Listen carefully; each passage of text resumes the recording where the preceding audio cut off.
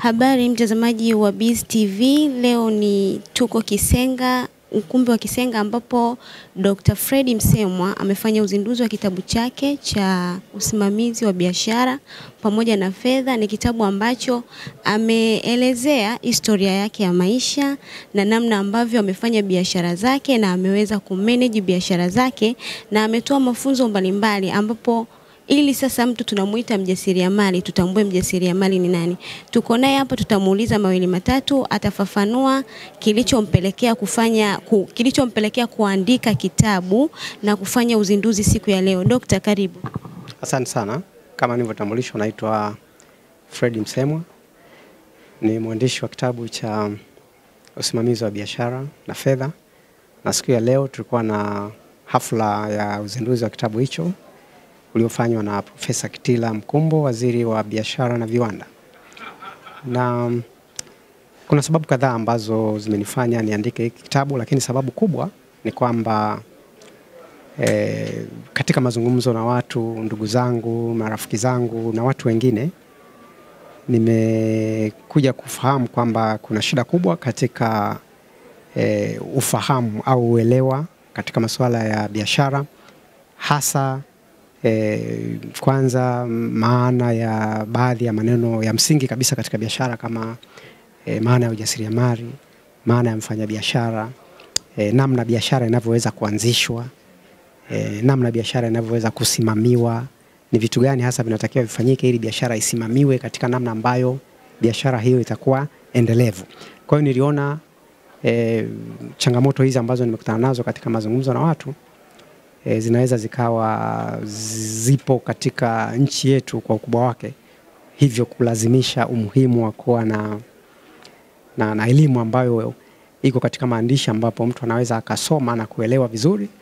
ili aweze e, kufanikiwa katika kitu anachotaka kukifanya. Kwa hiyo kitabu hiki sio kitabu kikubwa, kimeandikwa kwa, kwa, kwa lugha ya Kiswahili. Ni kitabu ambacho mtu yote anayejua kusoma na kuandika anaweza akakisoma na akikisoma mpaka mwisho na kwa umakini elimu yake inaweza isitofautiane, isitofautiane sana na mtu aliyemaliza digrii ya kwanza katika masuala ya biashara. E, kwa hiyo nilikuwa najaribu ku, ku, kuziba ombwe la maarifa katika jamii yetu e, hasa ikizingatia kwamba mimi ni mtu ambaye nimefanya biashara tokea nikiwa mdogo miaka kumi na nne. Nimeshiriki katika uendeshaji wa mashirika katika sekta binafsi na mashirika ya serikali. Kwa hiyo nilifikiri uzoefu wangu unaweza ukasaidia katika kuwafanya watu wasio na uzoefu kama mimi waweze ku, kupata hayo maarifa ili biashara wanazosimamia ziweze kuwa na mafanikio ambapo wao wenyewe watafaidika pamoja na nchi yetu itafaidika kupitia uzalishaji wa ajira, eh, kodi na mambo mengine. Kuna dhana kwamba wanafunzi au wahitimu wanaosomea biashara wakimaliza, wao sio wanakuwa watu wa kwenda kuanzisha biashara zao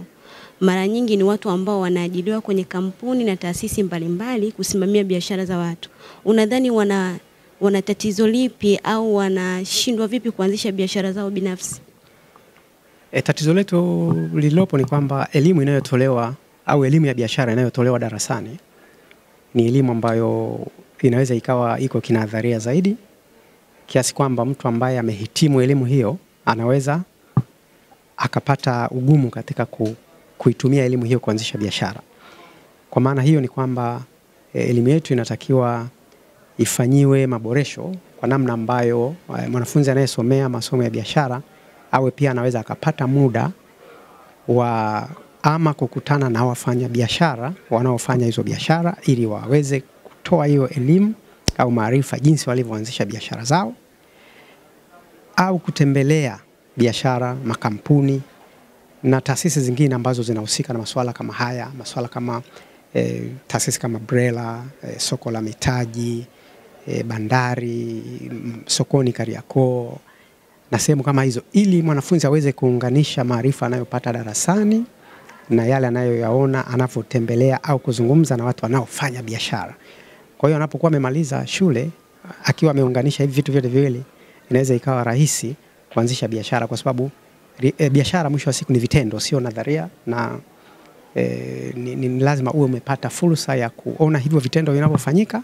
au wewe mwenyewe umefanya, ndipo unaweza ukawa na, na mwendelezo mzuri wa kufanya biashara.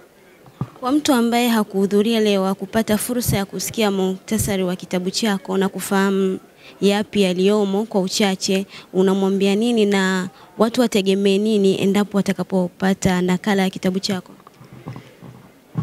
Hiki kitabu kwa, kwa bahati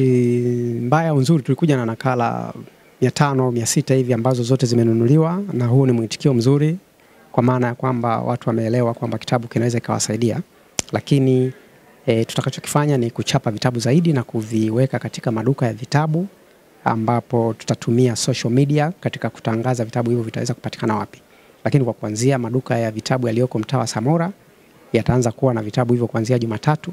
na sehemu zingine ambazo tutakuwa tumeweka vitabu hivyo tutaweza kutoa taarifa zaidi katika mitandao ya kijamii.